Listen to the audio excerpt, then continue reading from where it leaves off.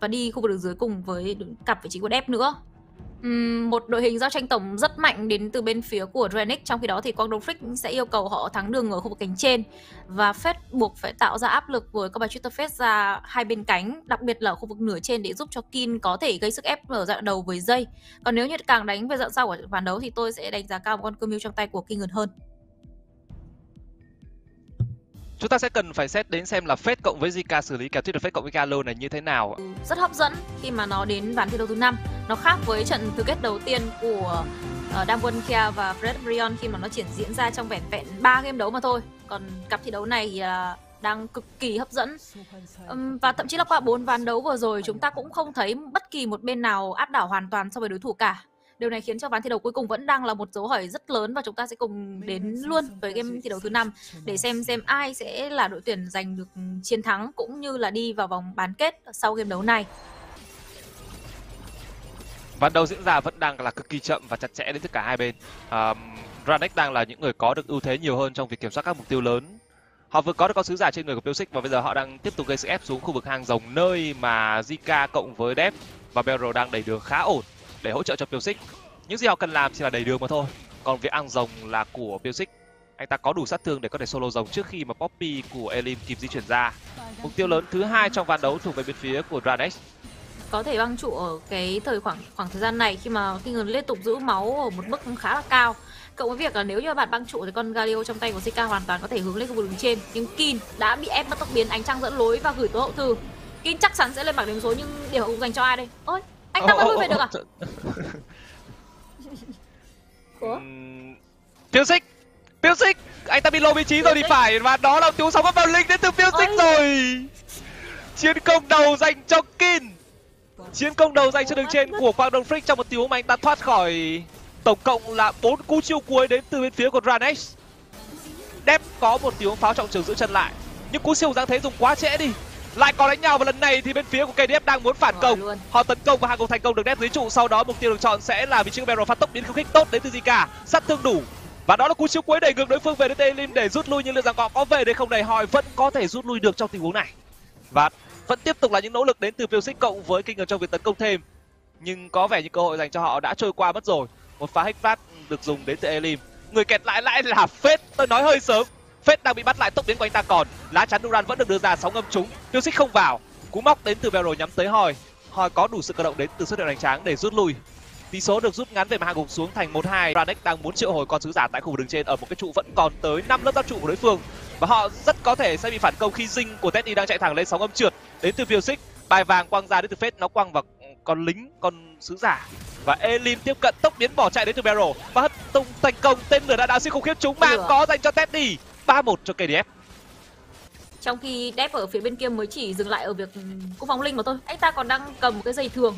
Trong khi Teddy đã nâng thành công cho mình cái giày tốc độ đánh rồi. Áp lực của Renick đang muốn tạo ra khu vực đường giữa với ba thành viên để lấy đi cái trụ này nhưng nó là không thành công. Khi Elim cũng đã có mặt, đường dưới vẫn đang duy trì lực đẩy và Kin sẽ thừa sức để có thể dứt điểm cái trụ này và vươn lên dẫn trước 2-0 về trụ. Mặc dù họ không kiểm soát được con sứ giả tiếp theo, nhưng lượng công trình thì họ đang là người nhỉnh hơn. Tất nhiên là với con sứ giả này thì Brannick phải làm cách gì đó để ít nhất lấy được cái trụ một vô đường giữa của đối phương và có được lợi thế để tiến ra khu vực hang rồng tôi không chắc là họ có làm được điều đó hay không với con sứ giả thứ hai của ván đấu này. À, con sứ giả đầu tiên nó chỉ mang lại một nửa cây máu trụ khu đường trên mà thôi. Kin đã có được trụ một dưới và qua đó thì lượng tiền cách biệt đã lên tới con số 3.000 tiền hơn dành cho bên phía của Quang Freak. Nó là một lượng tiền khá lớn chảy vào túi của những người như Kin hay Teddy, những chủ lực cực kỳ khỏe đến từ bên phía Quang Frick trong ván thi đấu quyết định này. Còn đối với phía Radek thì uh, kịch bản lại lặp lại giống như ván thi đấu trước. Họ thường xuyên bị mất lợi thế trước trong những tình huống giao tranh nhỏ lẻ đầu trận. Liệu rằng họ có gỡ được hay không đây khi mà Beryl bị tấn công lại, anh ta bị dính rất nhiều hiệu không chế và anh ta yếu máu lắm rồi, anh ta nằm xuống sát thương cuối cùng thuộc về Elim. Sát thương đến từ cả Kin lẫn cả Teddy được bồi vào cùng một lúc thì hỗ trợ của Radek đã chịu không nổi. Nhưng rất may đó là con sứ giả vẫn kịp hút một cú và mang lại một trụ cho Radek trong ván thi đấu này. Chênh lệch về tiền vẫn đang nghiêng cho bên phía Quantum Freak và họ đang tiếp tục muốn gia tăng nó thêm bằng tình huống tấn công nhắm tới Kingen. Cú định mệnh được dùng đến từ Twitter Fate của Fate. Đó là băng trượng được né tốt đến từ một tiếng tới tối hậu thư nhưng Kingen dính bài vàng dính thêm cả khiêu khích. Và anh ta vẫn còn tốc biến những quả cầu sấm đáp ngay sau lưng của anh ta rồi. Không thể nào chạy nổi. những nỗ lực đến từ Kingen chỉ câu thêm được một ít thời gian dành cho bên phía của Ranex để họ tấn công trụ hai đường giữa của đối phương mà thôi. Phết bấm B về để dịch chuyển trở lại khu đường giữa, đó là thăng hoa luân. Kết hợp cùng với súng huyết tinh, một lượng sát thương lên trụ cũng sẽ là rất lớn đến từ Dep. À, ờ, nhưng vừa rồi đã hết thăng hoa luân mất rồi. Trụ đường dưới đã bị tấn công mất tầm nửa cây máu. Zika đang là người mở ra một tình tấn công nhắm tới Kin. Họ có thể tấn công được Kin hay không đây? Cú sóng âm đã được đưa ra đến từ Pilsik và Kin đã né nó bằng cú tốc biến của mình. Phết không di chuyển ra khu đường giữa, ta đứng giữa là Teddy. Anh ta tạm thời vẫn giữ được trụ hai khu vực đường giữa cho bên phía của KDF và họ tấn công xuống trụ hai đường dưới của Dranex sẽ là cái trụ thứ ba cho Quang Freak trong ván đấu này. Không dễ để làm điều đó khi mà trước mặt Teddy luôn luôn có sự xuất hiện đến từ một con Poppy cú chiêu cuối được dùng để cấu rỉa nó khóa, nó khá là hiệu quả. Vero bị bắt lại ta phải tốc biến chạy với một chấm máu. Kinh Ngân đang có ý định áp sát vào người của Teddy siêu giáng thế đáp xuống. Hoi yếu máu dính sóng âm nhưng ta rút ra được siêu giáng thế đáp xuống. Hất tung không được Teddy tốc biến tản diều rất tốt. Cú đầu cơ sóng âm rất điểm phải cố sáng thủ đối phương đến từ Piosic và sau đó là bên phía của KDF đang cố gắng rút lui. Rất nhiều người của cả hai bên yếu máu sóng âm trượt đến từ Piosic hô thể theo đánh tay sát thương không đủ. Và đó là một tình huống bài vàng quang quy sát thương đến từ phết là khá đỏ trong tình huống này rồng vẫn còn đang ở đó khoảng chừng 15 giây nữa nó mới xuất hiện và như vậy là một pha trao đổi có lời cho bên phía của Ranex khi họ bắt chết được Teddy và cả Elim. Ranex vẫn tìm được cách để có thể giao tranh thắng lợi bằng việc bắt vào vị trí của Teddy, móc máu neo chúng.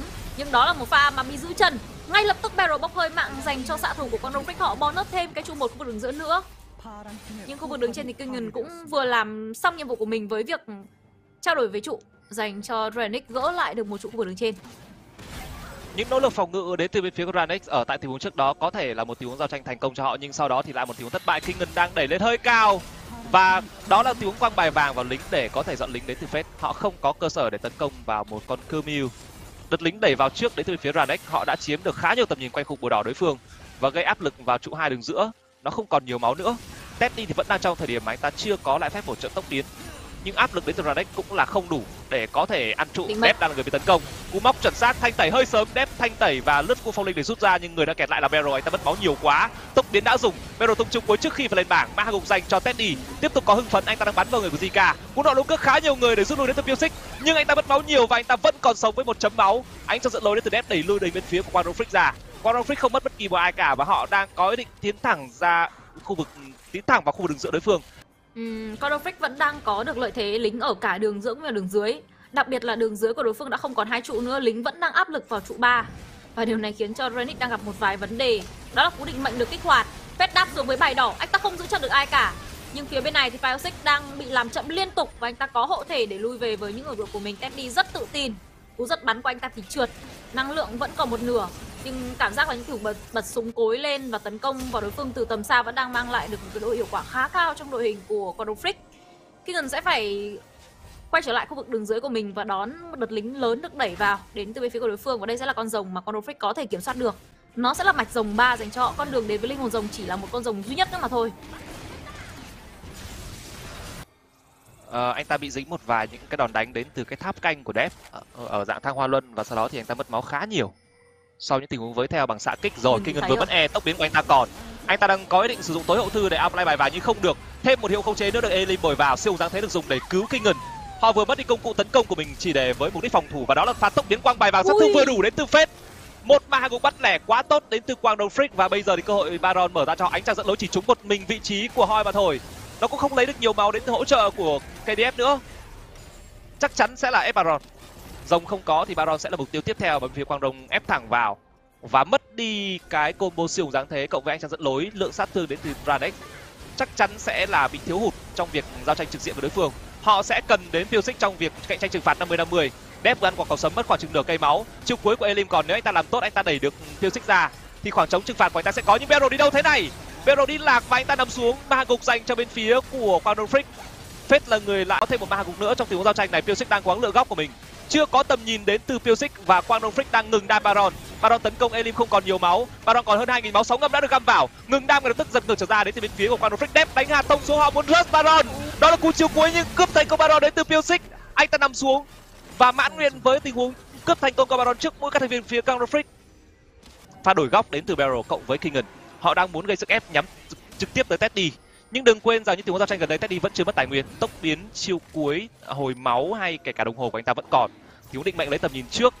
Tranh chấp trừng phạt lại là 50 50 Zika đang bị bắt lại không đường giữa nhưng đó là bài vàng đến từ phết tranh chấp trừng phạt 50 50 nhưng đó là cú chiêu cuối quá hay đến từ vị trí của Elim. Họ chưa dồn sát thương được vào rồng. Người đang bị nhắm tới đó là vị trí của kin kin bấm đồng hồ.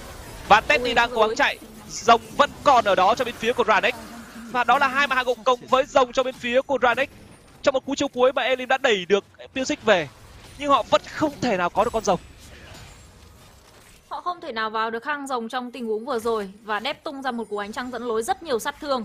Đấy lúc các thành viên của đối phương về và Renick là người có được con rồng thứ 5 của ván thi đấu này. Ngắt bạch rồng của Quang Đông Frick và họ với lợi thế về người, sẽ có thể tấn công được vào khu vực đường giữa của đối phương để lấy về cho mình một đường với Cobaron. Bỗng dưng từ một Cobaron dương 800 tiền thì phải, tôi nhớ không nhầm, thì hiện tại nó đang dương đến hơn 4.000 tiền cho bên phía của Renick và dinh của Teddy với gần 4 món trang bị thì liệu anh ta có thể phòng ngự được hay không? Đây sẽ là một đường rưỡi dành cho Drenic sau đó thì họ lui về khi mà lượng máu của Battle không còn quá nhiều nữa. Đây sẽ là con rồng thứ ba mà Drenic kiểm soát được, tên lửa đạn đạo siêu khủng khiếp ai ấy rồng ngàn tuổi cho Kingdom Freak đó là một pha chiêu cuối trên cả tuyệt vời đến từ vị trí của Teddy mà anh ta đứng trên mắt của đối phương để sử dụng tên lửa đạn đạo nhá. và. Đó là pha đổi góc đến từ hỏi bài vàng được rút ra. Beryl là một người được chọn trong cú bài vàng này phết mất máu nhiều quá. Kin đang ở quá xa pha băng vào đến từ vị trí của Kingan và người nằm số đầu tiên là hỏi tối hậu thư gửi vào Elim khá cứng. Teddy. Đang bắn được. Teddy bắn và đó là giáp thiên thần đến từ Kingan đã mất. Teddy bị tấn công và Teddy nằm xuống rồi anh ta đổi ma cùng với lại vị trí của Dep pha tốc biến bỏ chạy đến từ Kingan nhưng anh ta không làm gì được hơn nữa. Cả cú nổ lông cước sóng ngầm không găm được vội cước. Và đó là quét sạch dành cho Quang Freak họ đang đẩy thẳng lên không đường trên tìm kiếm chiến thắng trong ván thi đấu thứ năm này sát thương là quá nhiều đến từ Quang Đông Frick mặc dù trước đó họ đã phải đối đầu với một tình huống giao tranh mà không có sự xuất hiện đến từ Kin.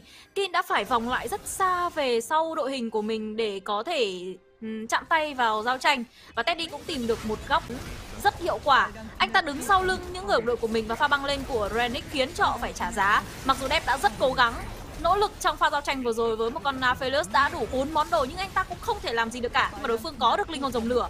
Và Quang đang đứng trước cơ hội kết thúc ván thi đấu này, một mình Barrow không thể nào mang lại hy vọng dành cho Drake nữa. Và Quang Đông Phích là người chiến thắng trong cặp thi đấu BO5 họ sẽ là cái tên tiếp theo. Tiến vào với vòng bán kết.